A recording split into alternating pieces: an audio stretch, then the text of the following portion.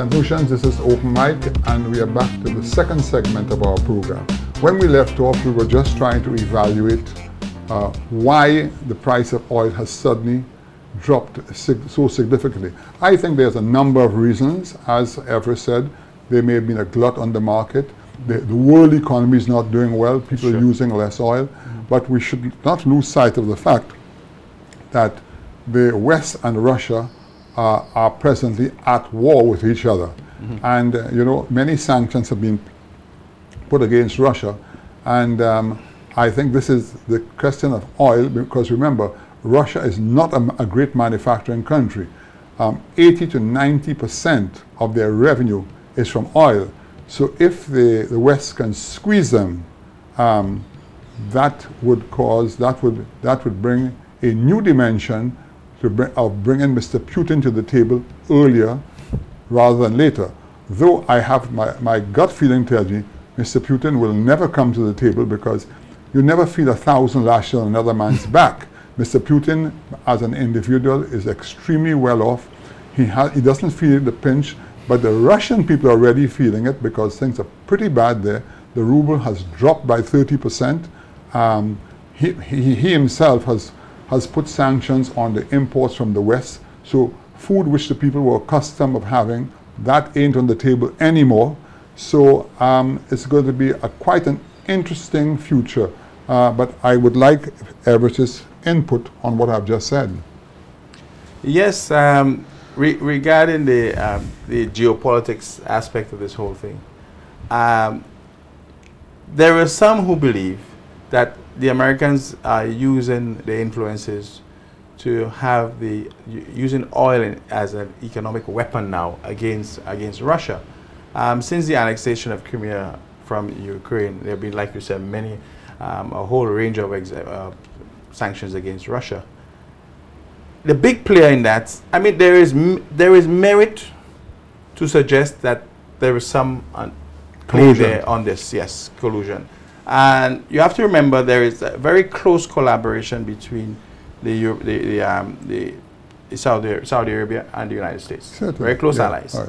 And the most influential member of OPEC is Saudi, Saudi Arabia. Correct, without uh, a doubt. A whole arrangement for yeah. level of production, the ability to adjust yeah. the production. Plus the fact they have $2.3 trillion in deposits. Well, they have the second so largest have, deposits have, of oil, uh, I mean, in the world. Um, and of like you, the, the, the other issue about, in fact, the, the level of reserves, and I'm talking about cash reserves, is such that they could they could avoid having to export oil for a one year and still be able to run as much as that. Yes. Eh? Wow. Yeah. So I mean, yeah. they could withstand that. So there is there is some who say that look, the Americans are using the opportunity um, are influencing OPEC through Saudi Arabia yeah. to keep prices down to yeah. hurt the, Amer the, um, the Russians. Yeah. Um, th there is that view. Um, but the truth is there is there is an economic argument here that the supply is outstripping demand here. You know, I've always felt ever in life, for every action there's a reaction. Mm -hmm. And we should not lose sight that what is happening today there will be a reaction. You and I may not know it today, mm -hmm. but you know, a lot of people are going to get hurt eh, in the process, mm -hmm. and which always happens in life. The weak ones will fall. fall. I mean, you take a place like Venezuela, for instance, that's already up the creek, and now with the oil prices as they are, mm -hmm. number one, in fact, I was just talking recently to somebody from Venezuela who passed through, and they said to me, um, don't be surprised that within six months, you see a coup in St. Lucia, in, uh, in Venezuela, where the military are going to take over because they said there's already discussions that that is happening because they know that Mr. Maduro, who's not as char charismatic as Chavez, mm -hmm. inherited a situation and, you know, with this, what is happening today, it's way above his head what he can do, way above. And um, the army have already um, are moving in.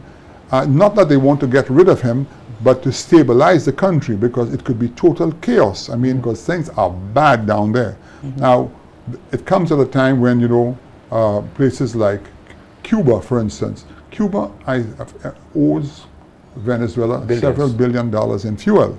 And, but in all fairness to Cuba, Cuba has provided a lot of professional Assistant- aid medical. to, to, to, Venezuela. um, to, to Venezuela. But you know, a place like Jamaica, 1.8 billion, Nicaragua, I think Nicaragua has already pulled out uh, of the Alba situation. Thank God for St. Lucia. I don't think we, we have take, not taken any oil here. No. No, we haven't. Yeah, we haven't. thank goodness we have. Because what is happening now is that the IMF and the World Bank are now saying that even though that um, you don't pay the money, um, It's on it, your books. it- it is going to go down in the books as a debt, Debt. and that's how they're going to rate you. Yeah. So you know when somebody has like Dominica, for instance, they have sent, for instance, for the last four months or more than that, six, seven months, they've been billing them, and they have just ignored the bills completely. They just cannot pay it because the money is not there because the money has been spent. Yeah. As a matter of fact, there was an article written recently about the, the bad situation of in Grenada, and Grenada is a basket case today, and they have warned them that's when you take easy money, that's what can happen. You know, people have to learn to live within their means, yeah, and because really and truly. Um, I have a lot of experience about the oil business because I was in the shipping business. And I distinctly remember in 1974, I was in, in, in Puerto Rico when we got the news that OPEC had started. And overnight, we were paying 10 cents a gallon for diesel. It went up to a dollar. So it went up tenfold. So, and, and it took six or seven months for them, for the uh, um, shipping market to adjust the freight rates. So you Wow. can imagine that it was very difficult for us, you know, extremely difficult. And, um, you know, I, I distinctly remember, Everest, at $16 a barrel, which was the year that I got out of shipping, that was in around 1980 something, 82. At $16 a barrel, I could not stay in shipping because it was too expensive. In 1969 and 1970, when I sent a ship to Venezuela, I would pay 5,000 US dollars for one filling. In 1982 was 100,000 Wow. US. And I said one day, and, and, and that even in 82, the freight rates had not yet manifested itself because, as I told you before, for every action, there's a reaction. Reaction. Here's what happened in the shipping business. People like us, whose ships burnt diesel oil, we were squeezed out because the Europeans brought in new ships that burned something called bunker C, mm-hmm. which was like 30% of the cost. But the capital cost was quite significant because they brought in these big these engines with what they call scavenger valves hmm. that worked at very high temperature. Okay. And as a result of that, these people, and that's how the container business came in too. So they took the opportunity of squeezing us out of the shipping business, and then they would just leave how many hundred containers in one port. And whereas when I was in business, five and six thousand to- uh, tons was called a small package of cargo. Today in Venezuela, if you have one ton of cargo, you'll get it. They just put it in a container, consolidate it, send it, and then take it over. Sure. So Sure. That, that, that's what I wanted to ask you about. The what what what kind of other repercussions can you see? Because even here for you in St. Lucia, you run a, uh, a, a gas station, and you know you see the people coming down. I, I've come to your place several times, and I see people really scrunting to buy a few gallons of diesel or oil, just like Yeah. people with, with, with, with um, who have um, these cell phones. They have the Top most swallow expensive, but they can't. They call him back, call him back because my, my credit finished. So and when they say now, ah, I see some hope, but are they going to spend the money differently, or what is going to happen? Yeah, it's true, you know. Um, I mean, I look around the stations we have, and um, the traffic seems to be, I mean, more or less, you know, the same. Yeah, But, when you put the numbers together, doesn't make sense. you realize the volume hasn't really shifted. So what is happening? People are frequenting the stations more often, um, buying in smaller quantities. The spend per, per, per Right. visit is, is a lot smaller. Uh-huh. Um, you see people who are coming up with expensive cars and they put in And- twenty dollars gas, ten dollars gas. It's the same thing at the hotels. Yeah. I have watched the, our hotels. We have the same numbers coming in, Mm-hmm. but our our revenue is down because they're not spending. Whereas a person would come and hire a car, Mm-hmm. or go on a tour, or do different things, or for that matter, go to the restaurant. Everybody is cutting back, Yeah, and everybody's this is my concern that the, the the revenue to us is contracting. yeah. Yeah. So th- that, uh, my, my question to you a while ago was, what other areas can you see that will be affected as a result? Uh, because when you're playing yo-yo with people, for instance, everybody has oil is going down and it goes back up again. Now, I heard recently, um, in fact, this morning, that oil could go to $50 a barrel, okay? Mm -hmm. It's going to go to $50 a barrel.